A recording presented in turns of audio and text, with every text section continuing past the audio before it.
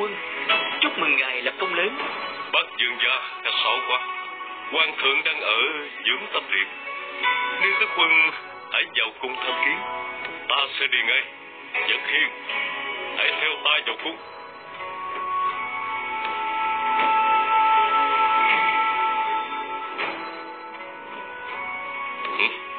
Có chuyện gì vậy? Nô tài quên dọn dẹp thùng nước Làm cản đường tướng quân. Nô tài có tội còn không bao dọn dẹp đáng phạt ta phụng mệnh của hoàng thượng dẹp loạn tây bắc đây về kinh thành đã bị nô tài cho ngươi cản được. Nếu ở việt cương ngươi đã bị xử tội. Tướng quân tha lỗi Tiểu nhân nhất thời sơ suất. Đi tướng quân mau đến gặp hoàng thượng bổn dương sẽ xử lý hắn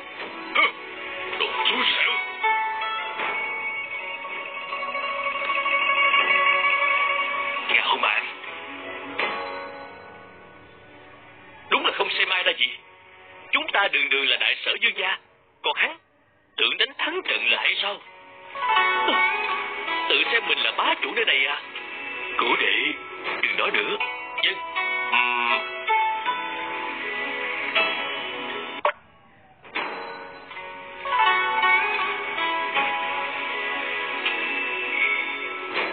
nô tài bái kiến tướng quân, nô tài phụng mệnh hoàng thượng, đến để đón niên tướng quân vào điện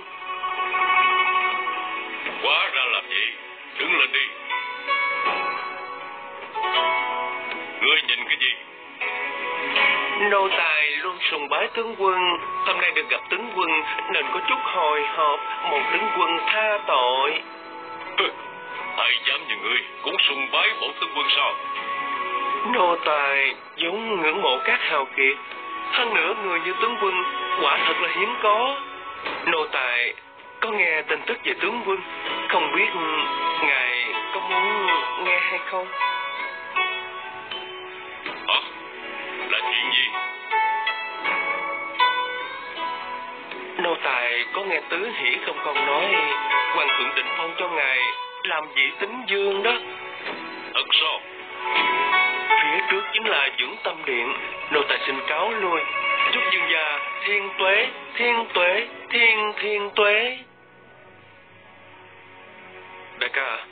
Để thấy tên thái giám đó rất kỳ lạ. Một tên tiểu thái giám, sao lại biết tin đại ca được phong chức chứ? Có gì kỳ lạ? Người luôn nghi ngờ những chuyện nhỏ nhặt.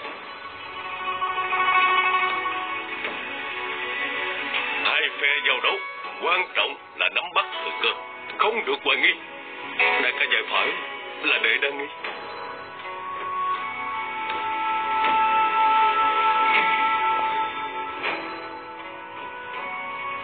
Làm tốt lắm. Sau này sẽ còn cần đến ngươi. Nô tài đa tạ đại nhân khen thưởng.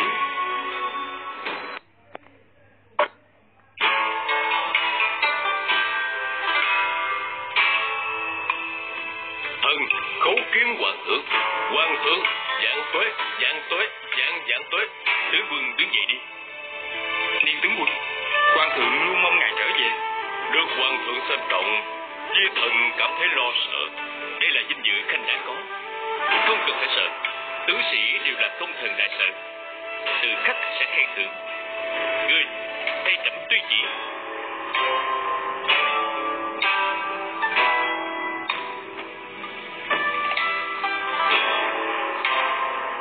Đại ca, sao trong phong thưởng không có tên của đại ca?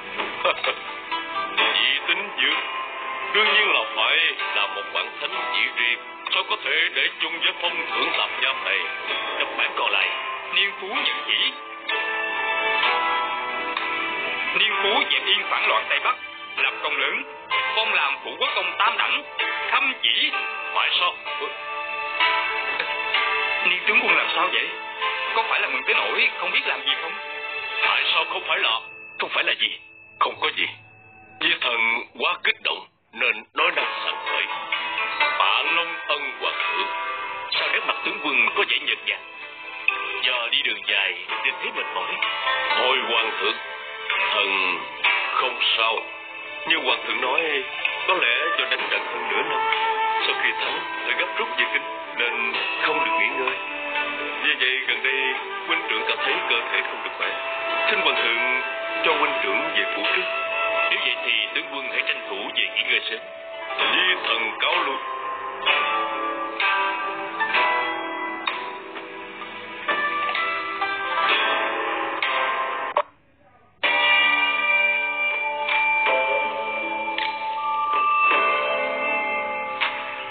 tướng quân vừa đến Nếu hoàng tử lại ngủ mất rồi Xem ra cửa cổ này đến thật không đúng lúc Chỗ là đã được ban tên chưa Ngày có tin thắng trận của đại quân, Hoàng thượng đã ban tên bắt diễn.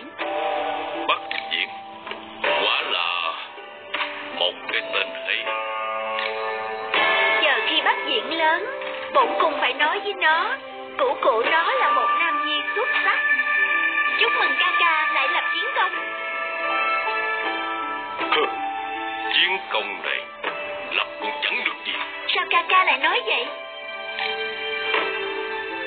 Hoàng thượng ngoài mặt xem trọng ta Thực chất thì trong lòng cả nghi Bổn tướng quân giúp người dẹp yên Tây Bắc Nhưng chỉ phong ta làm phụ quốc công Lại chỉ có tam đẳng Thiên hạ của người chẳng phải cho bổn tướng quân Đông chinh Tây chiến giúp người có được hay sao Niềm phú ta Chỗ nào không xứng đáng với thân phận vị tính dương chứ Ca ca cẩn thận. Thế lực trong triều của niên gia chúng ta, ngay cả tiêu gia cũng không bằng. Đã bị rất nhiều người coi là cái gai trong mắt. Này ca ca lập chiến công liên tiếp, muội lại sinh hạ hoàng tử. Niên gia chúng ta đang có thế thượng phong, cần phải chú ý lời nói cử chỉ, đề phòng kẻ xấu lợi dụng sơ hở. Hừ, Chiến công liên miên thì sao Cũng chỉ để hoàng thượng tùy ý sai bảo Cái ta cần làm là chỉ tính dương Chỉ tính dương Nhắc đến việc này, ca ca không thấy kỳ lạ sao? Tứ hỷ công công quanh năm hầu hạ dưỡng tâm điện.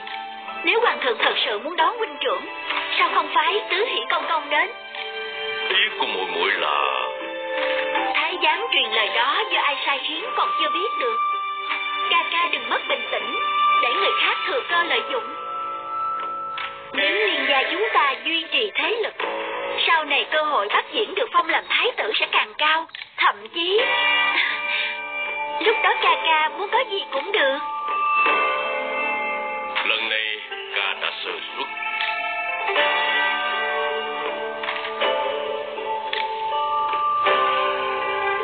dám động đến bọn tướng quân này.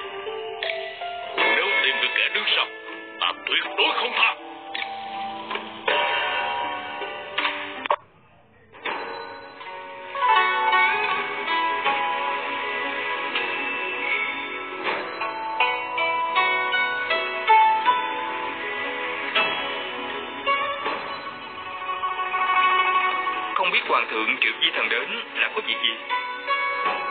Chậm cũng muốn hỏi thập tam đệ điều này. Thập tam đệ, Người cũng đã đến rồi. Có gì, cứ việc nói. Hoàng huynh có cảm thấy lần này niêm phú trở về, Lời nói và cử chỉ đều khác trước đây rất nhiều. Ví dụ như Thật ra thần đệ không tiếp xúc nhiều với niêm phú Nhưng quan sát lời nói và cử chỉ Cũng nhận ra được chút ít. Lần này trở về Hắn trở nên rất kiêu ngạo. Cho dù ở trước mặt Hoàng huynh đã kiềm chế lại Nhưng vẫn nhìn thấy được. Thập tam dương gia cảm thấy y tự kiêu. Cũng không lạ Tính tình niên phú vốn là như vậy. Tự kiêu, Trẫm thấy y đã kiêu ngạo đến mức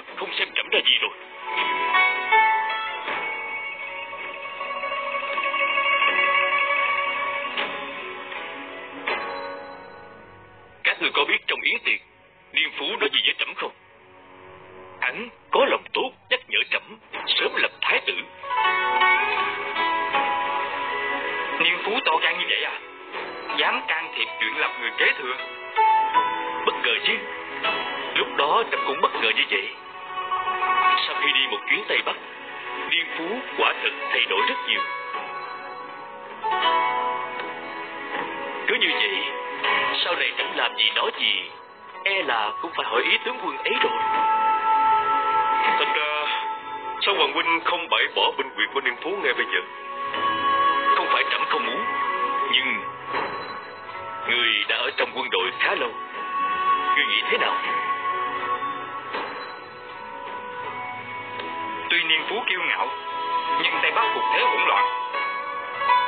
không có người trấn áp, không bao lâu nữa e là lại có chuyện. Bổn dương hiểu, nhưng bổn dương lo, nếu một ngày niên phú không cam chịu thân phận thần tử, dây binh mưu phạt, thì chẳng phải nuôi ông tài áo hay sao? Nếu đã như vậy, hay là tìm một võ tướng có thể thay thế niên phú trấn thủ Tây Bắc, không để bên Tây Bắc xảy ra chuyện. Trong quân Tây Bắc, có một tướng lĩnh là Nhạc Chấn Trung, đa tài đa trí, anh dũng trung thành, nhưng mà xưa nay bị niên phú chèn ép. Di thần cho rằng người này có thể đảm trọng trách. Được, ngày mai truyền giặc chấn đến.